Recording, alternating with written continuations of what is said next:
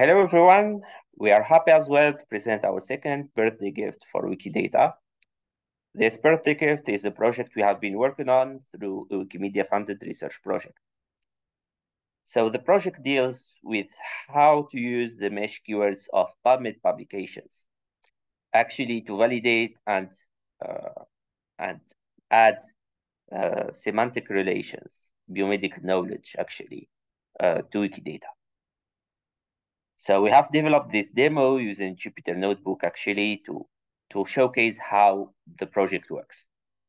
So if you see here, you see that we are using something called PyPython. And this PyPython is a Python package that is used to parse PubMed publications. So that, that's all. So we, just begin by loading it. Yeah, and, yeah, just run it. And then we just pick up a relation from Wikidata and see how the subject and object are written in, uh, in the MeSH taxonomy. So we just load that. We verified that this relation and we verified how it is written in uh, MeSH. So after that, we are using for search uh, queries over PubMed actually to compute something called the pointwise mutual information. And this pointwise mutual information actually is a, a semantic uh, relatedness measure based on corpus. And actually, when this pointwise mutual information value actually is superior or equal to 2, the relation is valid. When it is inferior, strictly inferior to 2, actually the relation needs attention and probably it is not wrong.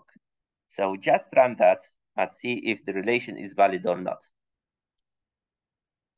So if we see, we just ran it and we found out that the PMI value is 8.8. .8. So the relation is seemingly accurate. So after that, uh, we actually use the qualifiers that are actually the, the attributes and the facets uh, of topics in, uh, in MeSH keywords to actually uh, make, may, make a matrix of the association between the qualifiers of the subject and the qualifiers of the object, making subcouples like this one. And then using that matrix, actually, we classify the relation. So we just ran this uh, code actually uh, to create uh, the matrix and actually the matrix that will be generated will be something like this. So it is a set of values between 0 and 1. Yeah, so we run that, it is loading and making a matrix of association between uh, MeSH qualifiers based on 100 uh, PubMed records. And then after that, we actually uh, use actually a neural network, a dense model actually to classify the relations. So what we do is that we run uh, we run the model and load it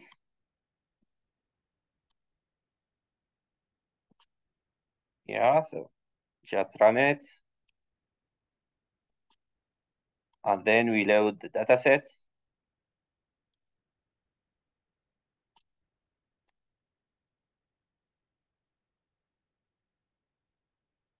Yes. And then we perform the classification.